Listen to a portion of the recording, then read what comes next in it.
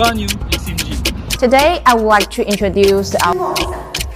이건 막시만한 set up a trauma